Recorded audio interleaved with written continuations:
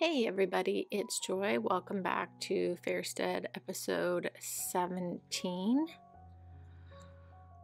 I was going to work on creating a little transit hub over here, but then I really got to thinking about what I want to put in this area, and I've decided I don't want to just leave it as like forest. I want to create some more connectivity through here, which will help with traffic. And I think our area here could use a like proper size hospital. So what I'd like to build here is a hospital focused um, complex, basically. Okay, get this all cleared out.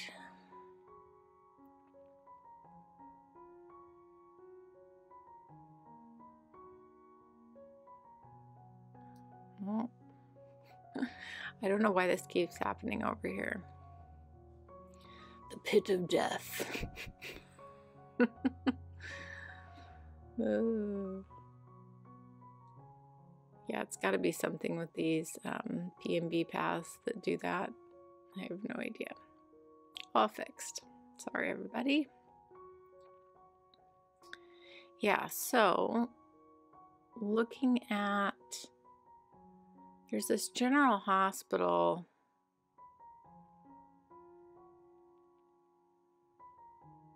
Yeah, I don't think I'm actually going to include any of these. I think. Yeah. The other one kind of stands out a bit more. I kind of like that.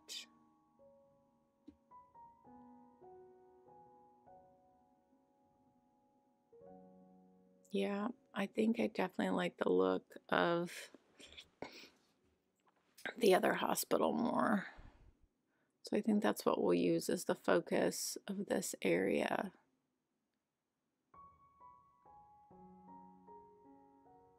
Okay. Time to, I guess I can unpause the game and get some roads laid down. So while I'm getting this road network put down, I wanted to continue on with, you know, sharing things about Frederick Law Olmsted and he actually has a very interesting connection to the creation of the Red Cross, which I found really fascinating. So, uh, yeah, I think go from here.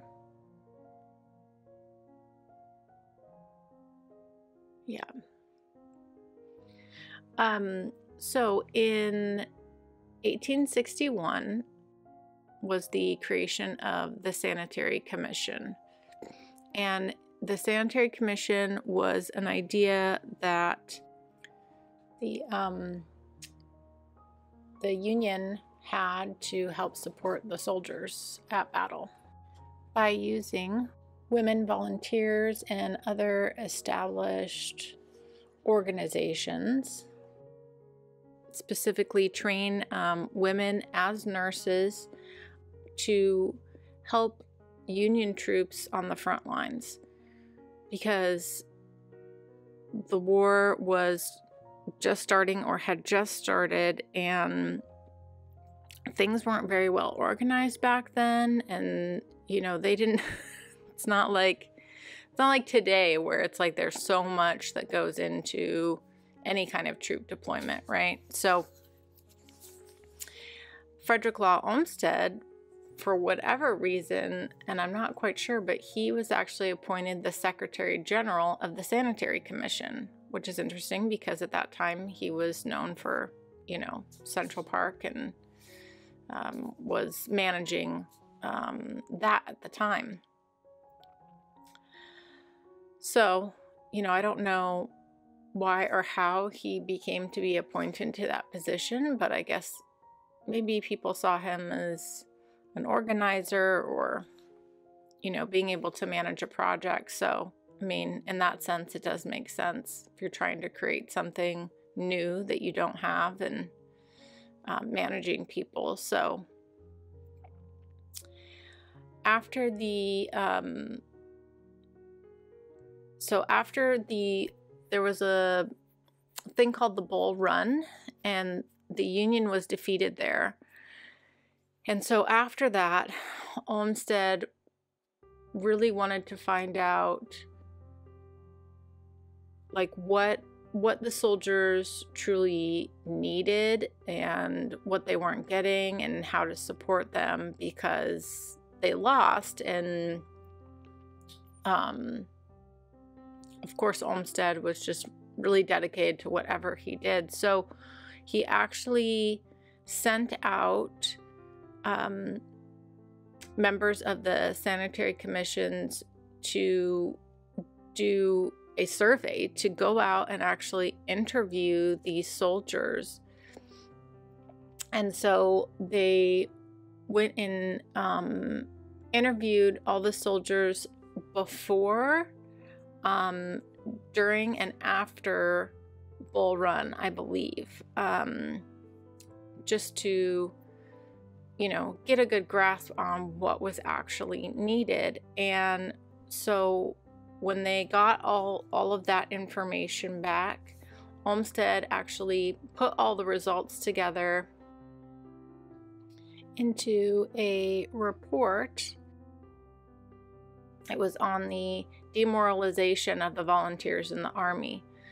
So no one had ever done that before, and I don't know. Again, I just think like it's such a common thing these days. You know, if you're trying to figure out the needs of a community or whatever, you know, you can go ask the community. so I think that was um, pretty interesting to me. So, um, just trying to think of where I want to go with this connection here. Maybe here. Yeah, that'll work. So, what he found out is that the government was not treating our own troops well. Um, there was really poorly distributed rations. Um, there was a lot of um, bad actors, um, which isn't surprising. I mean, we still see that now. Um, and just lack of organization. So, basically is pretty much a hot mess, if you want to think of it that way. Um, all right, I'm just thinking about where I want to actually place the hospital here. I know I want to make sure we have room for plenty of parking. Hmm.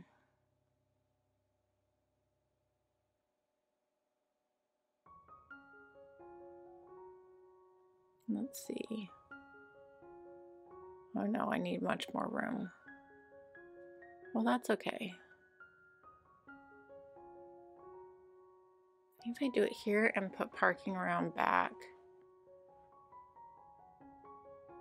it might work.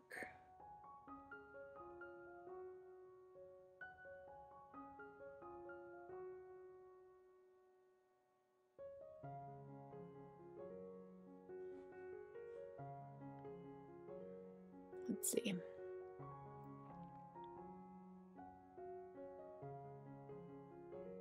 Mm, I definitely want room for parking out back. So maybe I just skip the extra road here and hmm.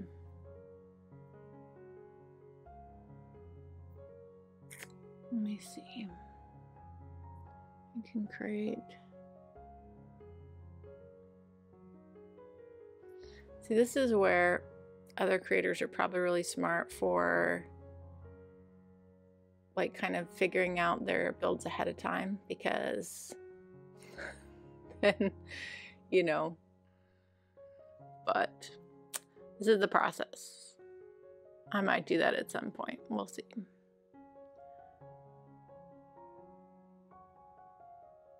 Yeah, I think I'm going to put this here and put parking in the back.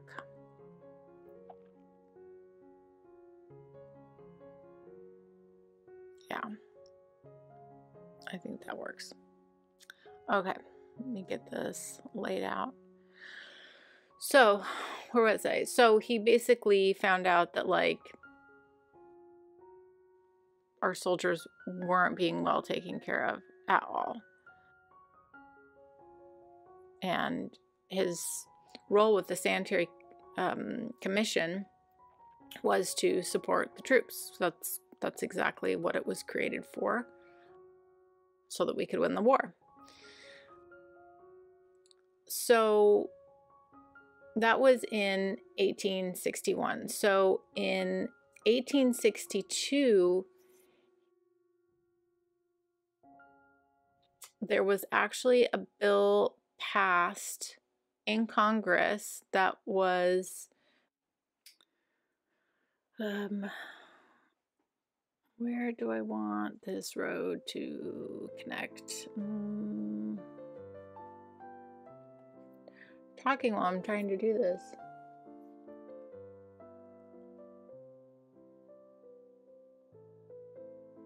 All right, we need parking lots.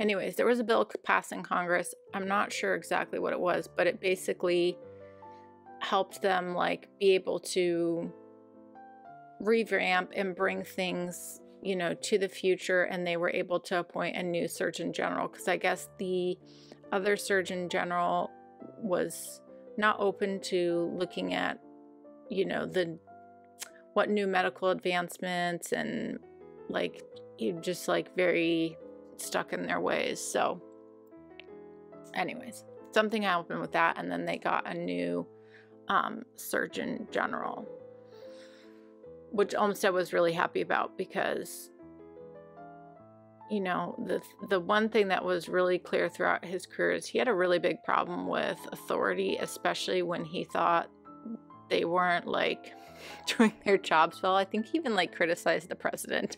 so he just was like I don't know. I really appreciate about them because it seemed like he always had a very clear vision of what needed to be done and he just he wasn't bothered by like status or class of certain people like he would just, you know, if someone wasn't doing something right, he would just, you know, he didn't care, which I I really like. Um this looks messy clean this up.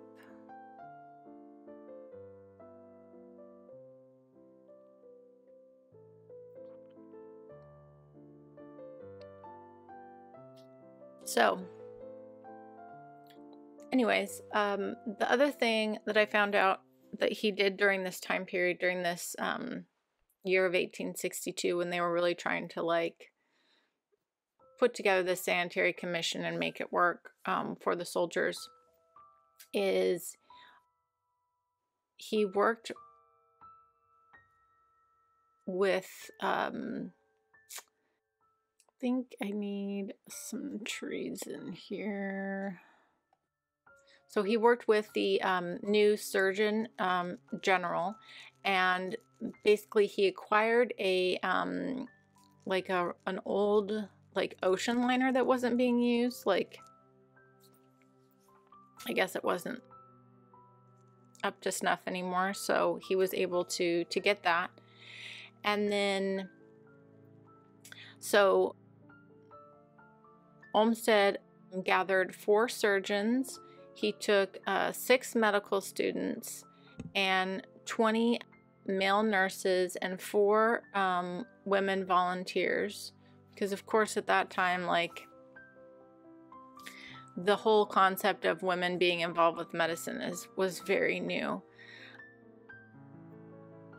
And he took this ship and turned it into a floating hospital, which was not something I don't believe that had been done before. Now, that's something that you know, we see regularly. There actually are hospital ships that are run by the Navy, I believe. So no one had ever done that before. So, and then basically he was able to, I think he got one or two other small boats he was able to get to, and then they would, you know, shuttle back and forth soldiers that needed medical attention. And I believe that they went down the, um, the uh, Potomac River. So, I don't know, I thought that was really interesting. So, as part of the um, sanitary commissions, Frederick Law Olmsted also helped at every place where like the battle was going on. They would set up these stations where they would provide cots and medicine and food. Um, it was manned by the volunteers, and it was just simple things like coffee and you know comfort food things like that. And surprisingly enough like the army wasn't a fan of this and the like he wasn't very Olmsted wasn't very well liked because he was unafraid to speak his mind and he was a little bit pushy and he did criticize them for how they treated their own like men. And so they didn't particularly like that these people were there providing additional aid which is strange to think of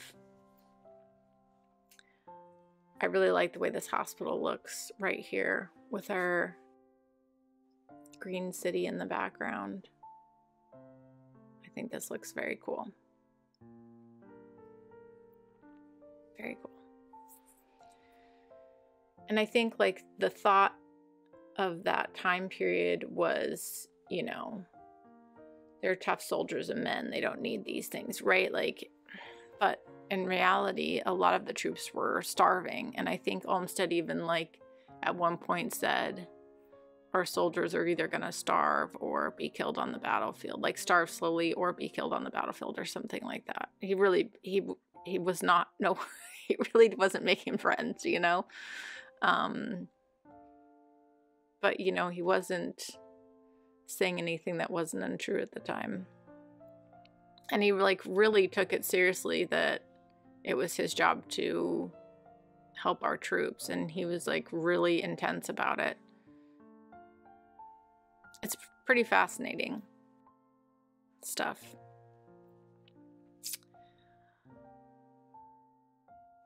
Okay, I do want to build a little transit center down here to pull our existing bus lines into across from the ferry. Just trying to think how. Maybe we'll do like a little one way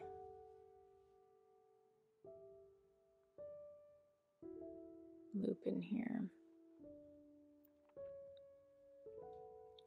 So, circling back, remember how I said Frederick Law Olmsted was, you know, weirdly involved with the creation of the Red Cross. So, going back to how Olmsted wasn't liked, like he was having a really hard time. He was getting so much pushback, and, you know, things were not he just wasn't very well liked by our own government and um, it just as much as he tried and he did make a lot of improve improvements and he did like the sanitary you know commission was working and everything but he decided to leave in 1863 for another very cool project that maybe we'll talk about another time but the Sanitary Commission really tried to help other they really wanted the sanitary commission to basically be adopted internationally um, so they tried to like i guess have some sort of like it wouldn't be called a media campaign back then but you know, they were trying to get the word out about like, look at what we've achieved with this and how we've like improved things for the soldiers and whatnot.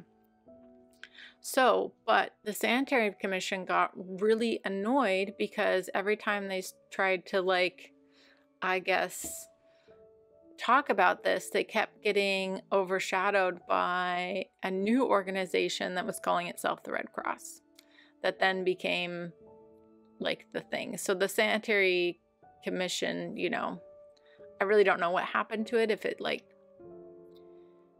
just, you know, and you see that like someone will pave the way with something new, and then sometimes people figure out how to do it better.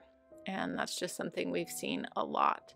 I'll have to like look into that a little bit more and figure out exactly what happened to them. But I thought it was just such a cool connection because if Olmsted hadn't been so like unapologetic and tenacious and just like really wanting to do everything he could to improve conditions for those soldiers. Like the Red Cross wouldn't exist as it, it does now. And also just like, you know, the fact that he was able to create this hospital ship and, you know, make it more acceptable or commonplace that we take care of our troops um, on the front line. So I don't know. I found it really fascinating. It was really interesting to me and just like his random connections to things that are so commonplace for us today. I thought was really interesting. Anyway, hope you guys enjoyed that. um, okay, so my thought with the hospital is I want to have a handful of hotels because I think that's really important near a hospital because a lot of times, if you have someone who's going through treatment or surgery or who isn't well, you know, sometimes you'll see these, um, you know, like longer term hospital stays and short hospital or um, hotels, long term hotels, or it just kind of makes sense to me to have that in the area. And then I'm thinking, you know, a few shops, some restaurants, maybe some offices. But I think um, just having the area be focused around our hospital and this like little mini transit center with the buses and the ferry. And I also hope it will just help with traffic too, create more ways to get around town. Um, so we'll see how that goes.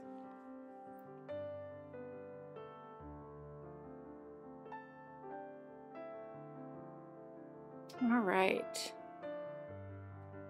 I need to get some water pipes in here. Okay. All right. While we are seeing what hotels come in, I'm going to put some fencing around our little transit area here. So let me get that in place.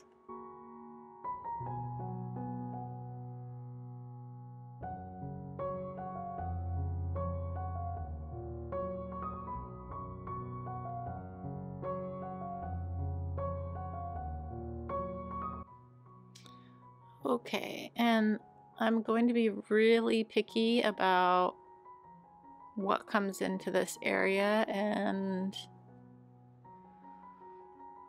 I think that's going to take a little bit of time. So uh, let me uh, catch you guys on the other side after some of these have come in and we figured out which ones we want.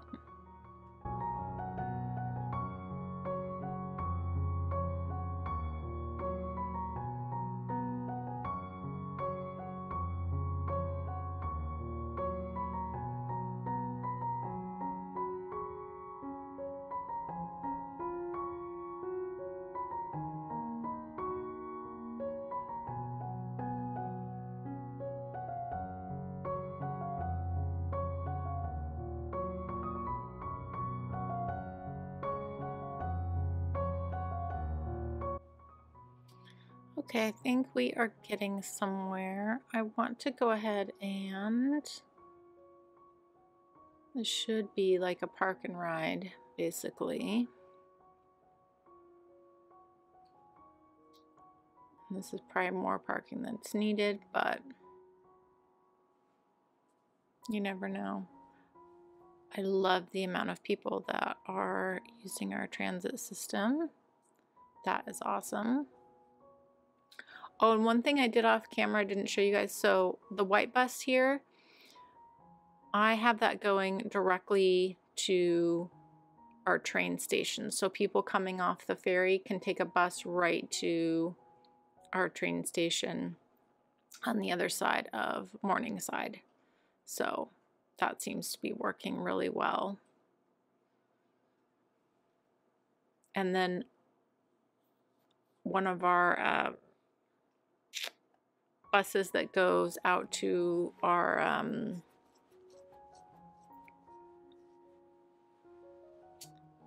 um, what was I saying? Oh, to our um, basically like nature reserve, national forest. After it stops here, it goes right to the bus depot. So when you're coming off the ferry, you can either go to the bus depot or straight to the train. And I think that's why this is working so well. Okay, I think I like having this little touch of local and organic produce here.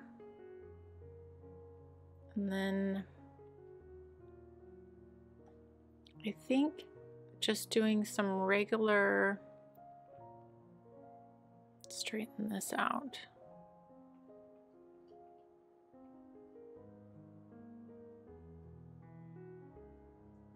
I think I just want some regular commercial in here as well. Let's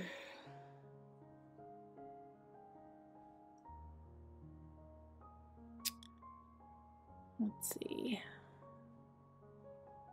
Oh, this is going the wrong way. I was wondering why there was very little traffic going that way. That will help.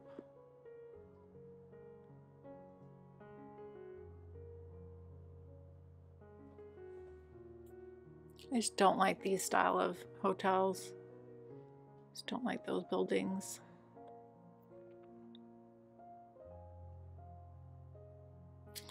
All right, let me keep working on refining the um, buildings that are coming in on this area. And I'll be back with you. This is this is going to take a while.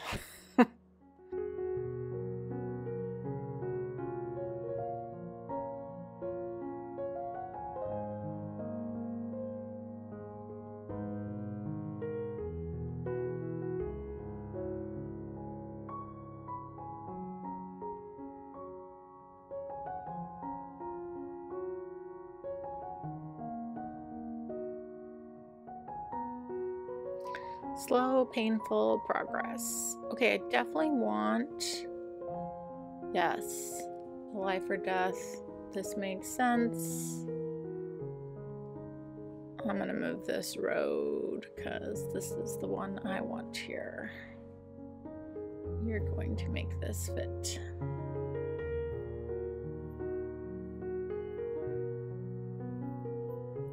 Yeah. When I do detailing, I can connect paths up to this one as well, which I think will look nice. So let's move this to a small road and then this through.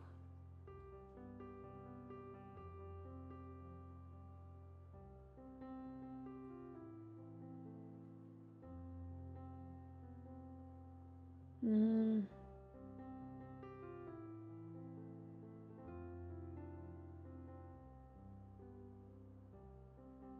Actually, I think we have we have all that parking behind the hospital. I think we're good.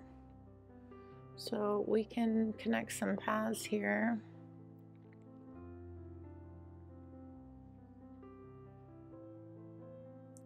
I also want to do all the detailing in this area today.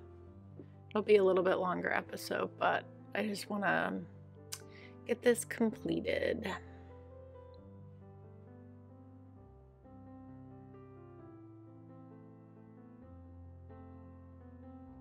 All right, put this in here. And we can extend this with using the same type of trees when I go through and add all the other detailing. So I think that will be good.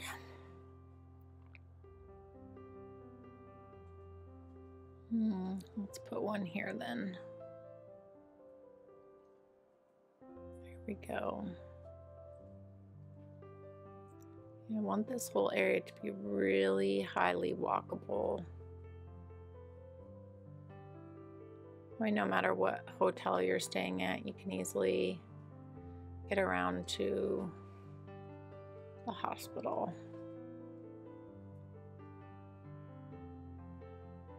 All right, let me get some more of this in and I'll check in with you guys in a bit.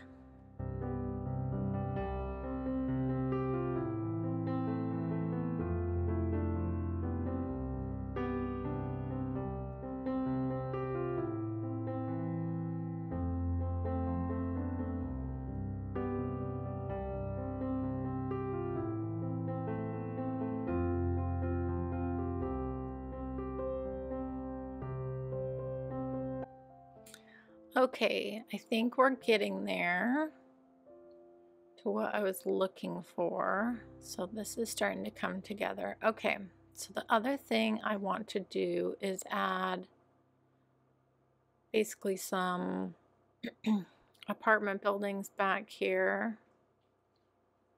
Um, oh, actually, you know what? I can just pull Morningside through because it already has everything on it we would want with the um, self-sustaining buildings. So those are going to look really nice in here. So let me get a little road layout back here and get that, uh, get the zoning filled in.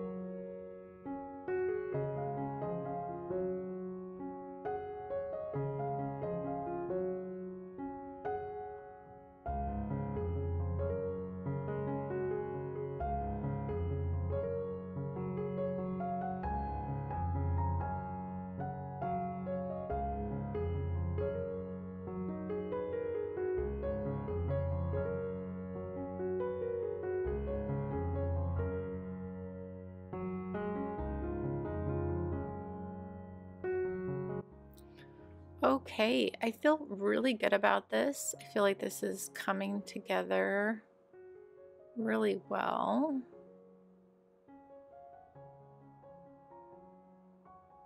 Sure, we can leave that there. So I definitely don't want like wall to wall zoning through here, but I do kind of like where we're at. Oh, we got a little little patch. I think this whole complex will be a great asset to all the areas that we've built so far. It's very centrally located. so I think I'm happy with it. I think it it's turning out the way that I wanted it to think there's just a whole ton of detailing that I need to get done. And I know this episode is already long, but I feel like I want to get this done. So let's do it.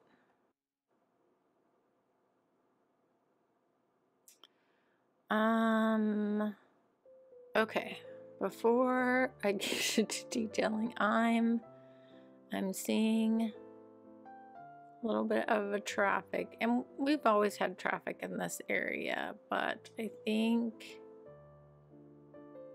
maybe we can improve this by adding a little bit more connectivity and doing a little traffic management. So let me see what I can do here.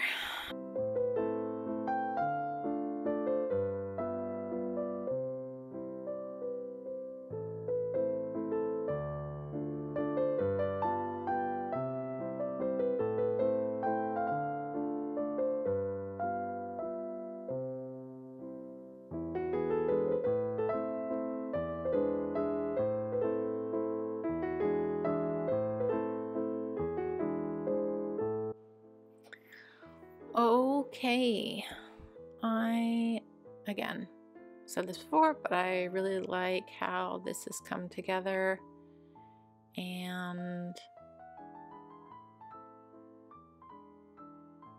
as much as I know this area is going to take a long time to detail, but I would just like to get it done today, so I hope you don't mind. We'll just go on three speed and get this all detailed up and I'll catch you guys on the other side.